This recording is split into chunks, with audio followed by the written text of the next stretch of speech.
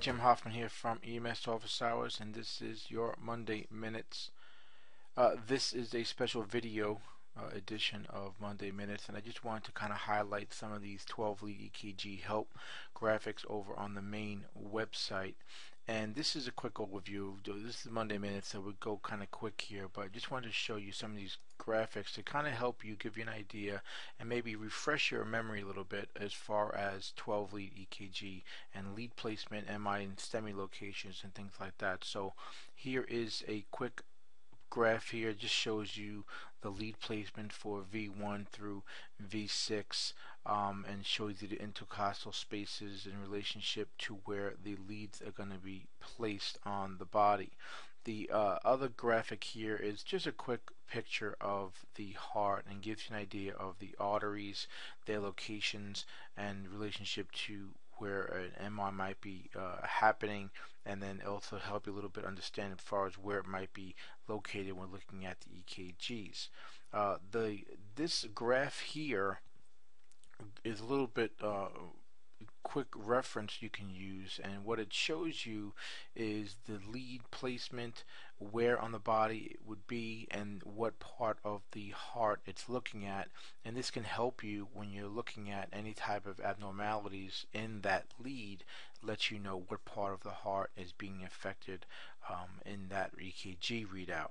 And finally, this is another graph here, again showing you the leads themselves and letting you know what part of the heart it's affecting, whether it's posterior, lateral, inferior, anterior, and what part of the actual artery even where it's uh, affecting as well, which so kind of like brings all three of those previous pictures together. So again, this is just a quick overview here. I encourage you to go check out the main site, look at these uh, graphs more in depth, and um, also you can even play back this video and pause it and whatnot to help you understand as well.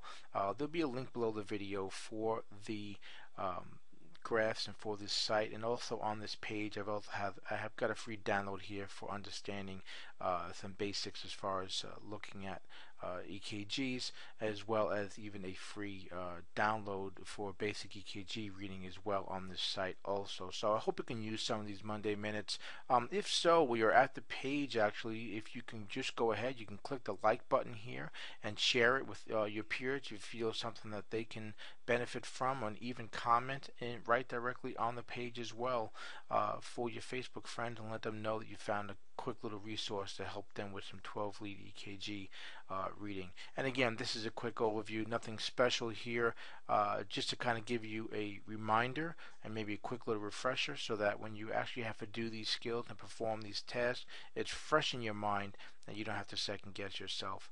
Uh, I hope you can use these Monday minutes. Again, you have some Monday minutes of your own you want me to go ahead and highlight here.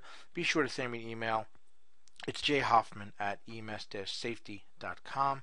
As always, Jim Hoffman from EMS Office Hours. Stay safe.